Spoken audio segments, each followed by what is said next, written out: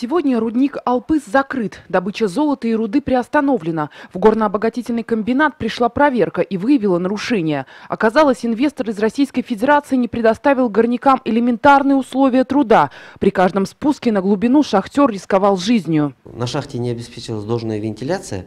В частности, она получается из чего? Что при необходимом количестве трех вентиляторов работало только два.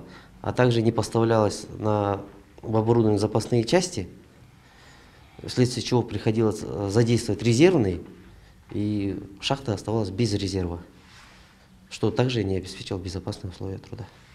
По словам чиновников, у горняков даже не было возможности пообедать. И при этом размер заработной платы был ниже прожиточного минимума. Это и стало причиной массовой забастовки. Люди устали терпеть такие условия от российского инвестора и отказались выходить наружу. Они потребовали поднять им заработную плату и обеспечить достойные условия труда. Почему мы не можем пойти и нормально жить достойной жизнью? Такой, который работает. Мы получаем золото, мы получаем руду, богатую руду. Продукция идет, мы ее отправляем. Мы не знаем, как, какие, какие там и что там. Как и за сколько они там продают, за сколько у них что идет. Бог его знает.